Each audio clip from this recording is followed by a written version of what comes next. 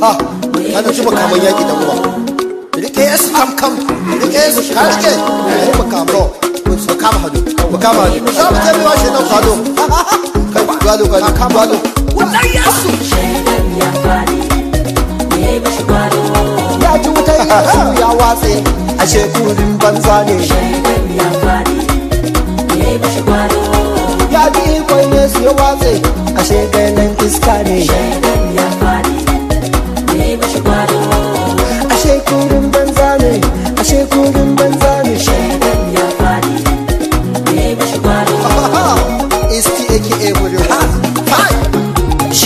Ban da gangancinka wa ya jawo ka gun ƴaƴan Allah? In ban da tsautsan ka sha wuya wa ya jawo ka gun ƴaƴan Yesu? Ashe rabon ka sha wuta ne mun kuma sai mun baka.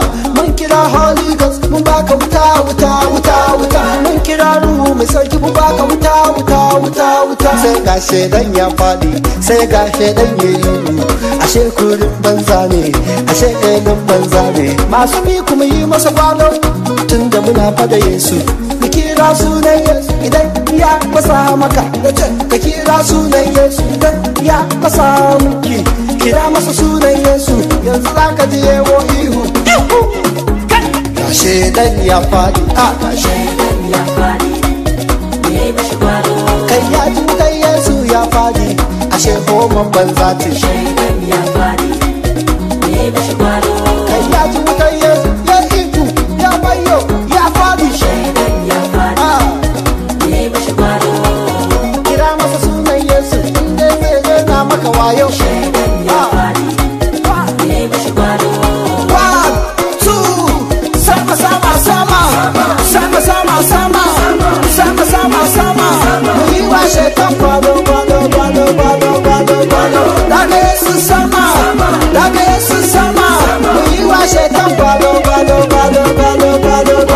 Daga Yesu sama daga Yesu sama. Wa Eh babu yadda zaka da mutum da mu yayin Yesu ne. Aha. Hey Shirin yayi yayi don ya kada ni. Ya bi ni ya bi ni wai zai kada ni. Ya tona kuɗi ma don ya kada ni. Ya ɗauko mata wai zai zubar da ni. Ya manta da cewa Allah na ya sha karfinsa Ya manta da cewa Ubangiji sarkin yaƙi ne. Idan fa ya matsa min sai na kira sunan Yesu. Yanzu za ka biyo ya ihu yanzu za ka biyo ya wayo yanzu za ka biyo ya kai kai. Ita ba jiso za ku gani za ku gani. Yanzu fa a cikin sunan Yesu.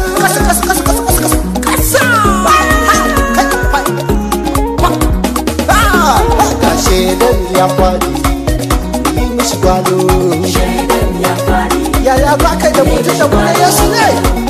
Babu yadda za ka iya da mu. Ah dole ka bar mu ba. Shedan ya faɗi. Mu yi mishi gwani kai ya ji wuta yesu ya faɗi. Ashe kai lambar zane. Ah